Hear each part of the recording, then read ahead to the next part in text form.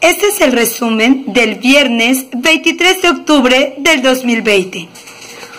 Hoy hicimos el cierre de las emociones y trabajamos con la cualidad del amor.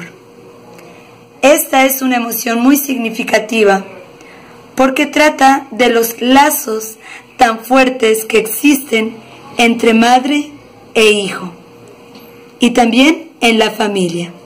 Por tal motivo, los niños hoy hicieron un corazón. En ese corazón escribieron lo que sienten por mamá. Y las mamás de igual forma dibujaron un corazón en el que plasmaron sus sentimientos. Después compartieron los corazones y los niños le dijeron a las mamitas que sienten por ellas y las mamitas que sienten por sus hijos. La cualidad del amor es imprescindible para el desarrollo emocional, afectivo de los niños. Es muy importante que los niños siempre reciban el amor de los papás, el reconocimiento y la aprobación.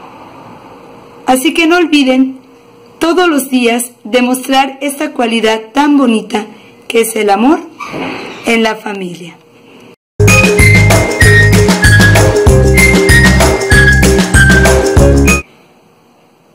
En matemáticas trabajamos la página 14 de nuestro cuaderno de ejercicios. Esta actividad consistía en colorear en la tabla los precios de los juguetes con el mismo color de la etiqueta. Cada precio aparece varias veces. Al final, los niños tenían que rodear el precio que aparecía, perdón, el juguete cuyo precio aparece más. También pudimos hacer las siguientes comparaciones de qué precio aparece menos, qué precio aparece más.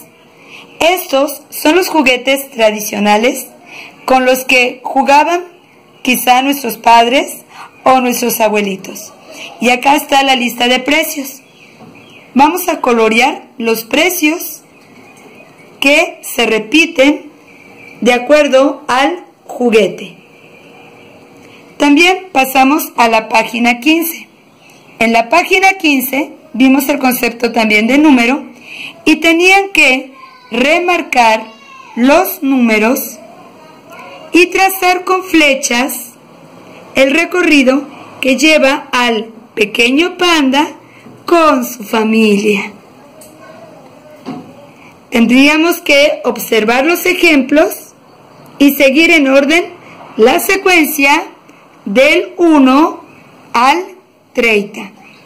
Se les pidió a, a, los niños en este ejercicio que las cantidades como 10, 20 y 30 las hagan de color rojo.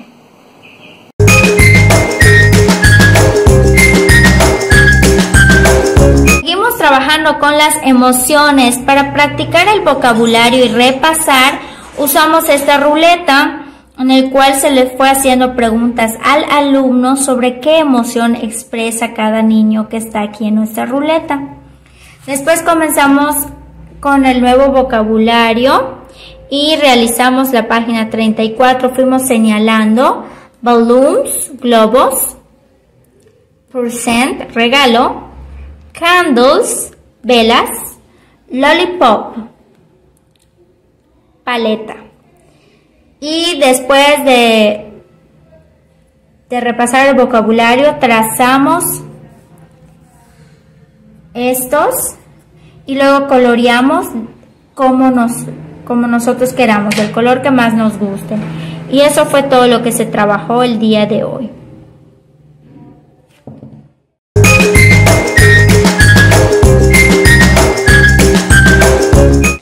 Tarea de la casa es la página 96, es realizar rompecabezas y estudiar el vocabulario, las palabras del vocabulario. En el libro de recortes ahí está el cuadrito con las piezas del rompecabezas, lo pueden consultar y eso es todo. Tarea de la casa. Se les asignó la lectura de la unidad 3. Esta es el repaso de la unidad. Solo tienen que, como dice nuestro tema, vamos a leer. Por favor, en este fin de semana, tomen la lectura de estas oraciones que posteriormente los niños leerán en clase. Es la página 28 de su libro de lecturas y solamente vamos a hacer la lectura hasta la quinta oración. Muy bien, también vamos a trabajar la página 32 del libro de lecturas.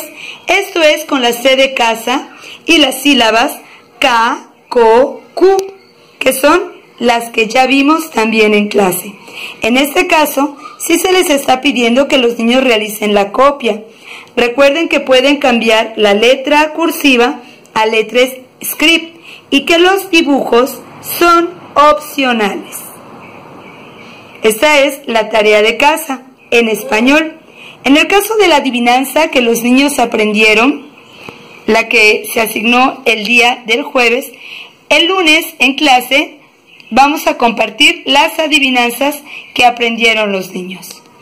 Ahora, en matemáticas se les asignó la página 16. En esta va a ser el concepto de medida porque trata acerca de ordenar las historias y escribir en los recuadros los números del 1 al 4 como corresponde. ¿Recuerdan cuando trabajamos la biblioteca? Pues es parecido, solo que en esta ocasión tienen que poner mucha atención a las imágenes para saber qué fue primero y qué ocurrió después y así sucesivamente hasta llegar al final. Muchas gracias.